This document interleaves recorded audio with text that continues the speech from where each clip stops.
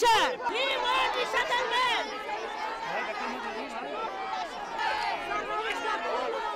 काबुल पर तालिबान कब्जे के बाद काबुल एयरपोर्ट पर काफ़ी भीड़ है। लोग अफ़गानिस्तान छोड़कर दूसरे मुल्क में पनाह लेना चाहते हैं। ऐसे में बहुत सारे अफगान बाशिंदे पनाह लेने के लिए भारत का रुख कर रहे हैं। लेकिन भारत में गुजशत दहाइयों से पनाह लिए सैकड़ों अफगान महाजरीन ने पीर के रोज़ भारत में पनाह गुजी का दर्जा हासिल करने के लिए एहतजाज किया।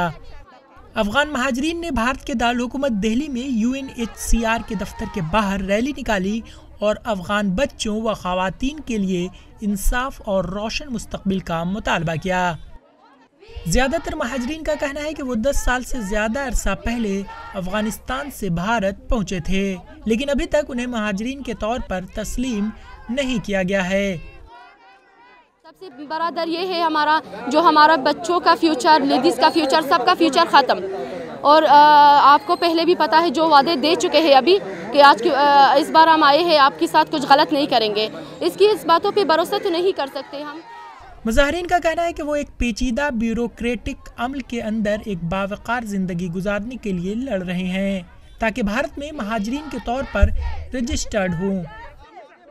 यहाँ जो refugees more than ten years यहाँ इंडिया में रहते हैं, इनका कोई बेसिक फैसिलिटी नहीं है यूनिचार जो इन लोगों का हक है इंटरनेशनल लॉ के हिसाब से, ये भी 10-15 साल से कुछ नहीं मिला इनके लिए। अभी हम ये रिक्वेस्ट कर रहे हैं कि जो इसी वॉर औलत में जो अफ़गानिस्तान में चल रहा है, और वहाँ दोबारा रिटर्न होने का कोई चांस नहीं, कोई अफ़गानी का, जो ये तालिबानी रजीम आ गया है। इसके लिए हम सब यहाँ एक रिफ्यूजी स्टेटस चाहिए। ये निज़ाम एक तवील अरसे से पस पर्दा डाला गया है क्योंकि भारत उन्नीस सौ इक्यावन के अकवा मुतहदा के पनाह गुजी कन्वेंशन या उन्नीस सौ सड़सठ के पनाह गुजीनों की हैसियत से मुतल प्रोटोकॉल ताल्लुक़ का दस्खत कुनिंदा नहीं है।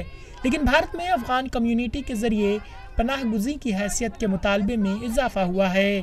ख़ासतौर से ये उस वक्त बहुत ज़्यादा है जब तालिबान ने अफ़गानिस्तान का कंट्रोल संभाल लिया है। बहुत से अफगानों को खदशा है कि तालिबान 2001 में अमरीकी क़्यादत के हमले के बाद की दहाइयों में हासिल करदा ख़वातीन के हकूक़ को दोबारा ख़त्म कर देंगे।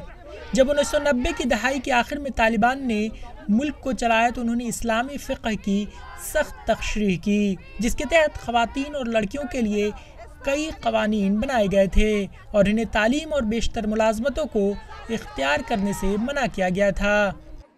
इस दौरान तालिबान अपने आप को ज़्यादा अतदाल पसंद क़वत के तौर पर पेश कर रहे हैं। उनसे लड़ने वालों को आम माफ़ी की पेशकश कर रहे हैं और ऐलान कर रहे हैं कि ख़वातीन को इस्लामी कानून के तहत हकूक़ फ्राहम किए जाएँगे।